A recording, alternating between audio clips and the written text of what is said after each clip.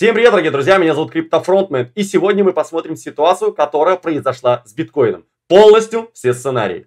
Вчера, буквально, я говорил и показывал, что на 4 часах формируется фигура, которая называется диамант. И мы ее с вами нанесли. Вот как она выглядела. После чего мы с вами нанесли данный алмаз сюда. Я перетянул тело, и мы с вами выяснили, что примерно мы уйдем вот сюда. После этого биткоин консолидировался здесь, пару часов походил в боковичке, после чего совершил импульсное движение вниз.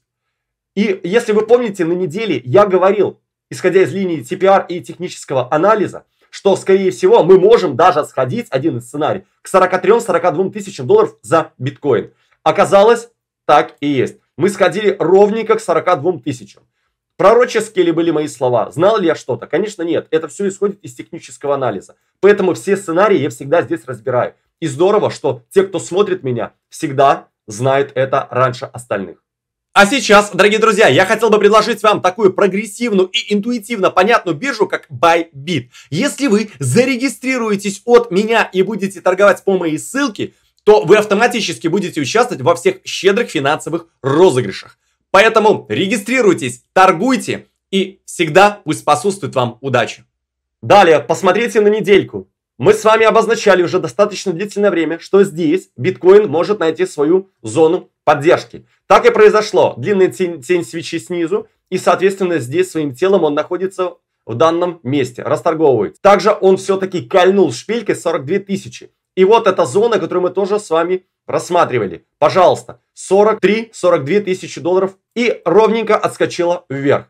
Это пока. Но не нужно думать, что биткоин сюда дальше не вернется, не будет тестировать на пробитие. Также я обращал ваше внимание на то, что на 4-часовом таймфрейме мы тестировали на сопротивление пробой вверх раз, два, три раза. Для того, чтобы пробиться и полететь вверх. Однако, раз, два, три, четыре, пять, шесть, семь и восьмой раз стал выдающимся. То есть мы пробились вниз. Мы три раза тестировали сопротивление вверху, для того, чтобы пойти дальше. И 8 раз мы тестировали поддержку снизу. Как вы думаете, куда мог пойти биткоин? Ну, конечно же, ситуация говорила о том, что мы пойдем вниз. И я об этом тоже вчера говорил. И не зря вам показал диамант. Поэтому ситуация у нас, в принципе, была предсказуемая. Если мы посмотрим на сквиз-момент на неделе, мы увидим, что рост у нас затухает. И мы спускаемся вниз уже как третью неделю. если посмотреть, какими кусками выгрызаются эти свечи, Просто колоссальные объемы уходят из рынка. Дело в том, что рынок уходит в коррекцию.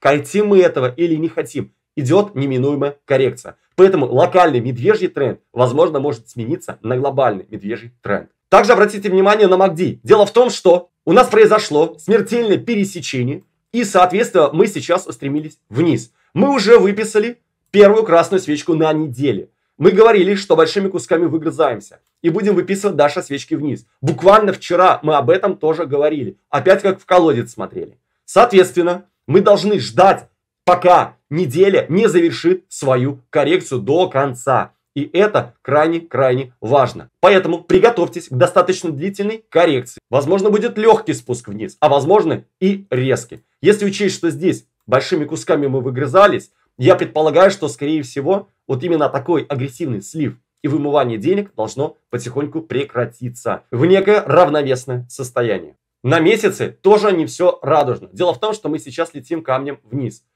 И, соответственно, у нас месяцы затухающие. Поэтому сейчас нужно быть крайне-крайне осторожным. Если мы посмотрим с вами на 50 и 200 скользящие, то увидим следующий момент. Дело в том, что когда 50 пересекает 200 сверху вниз, у нас наступает медвежий тренд.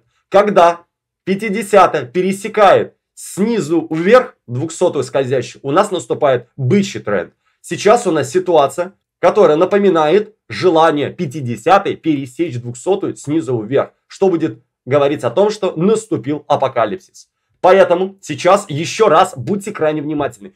Если мы посмотрим на Market Cypher, то мы увидим, Огромные объемы money flow выходят из игры. Мы летим камнем вниз, падаем. Это видно также по стаховостику. Мы даже не добрались до вершины, а уже совершили крюк и идем вниз.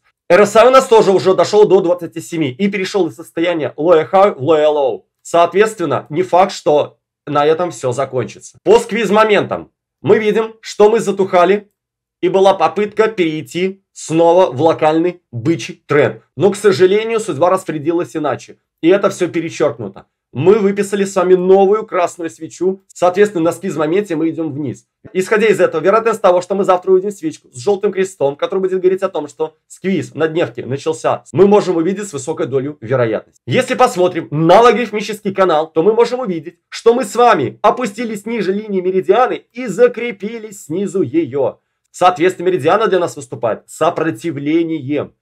Поэтому высока вероятность того, что мы сможем протестировать оттолкнуться и полететь вниз. А падать нам и вовсе есть куда. Вниз логарифмического канала. Поэтому можно рассуждать, что мы можем дойти именно вот в этих пределы 37 плюс-минус тысяч долларов за биткоин. Поэтому наша задача сейчас выжидать, ожидать. Как только что-то произойдет глобальное, я вам об этом обязательно расскажу. Следите за мной. Подписывайтесь на меня, ставьте лайк, рассказывайте друзьям, что есть такой криптофронтмен, который говорит то, что будет. И это не магия, это просто технический анализ.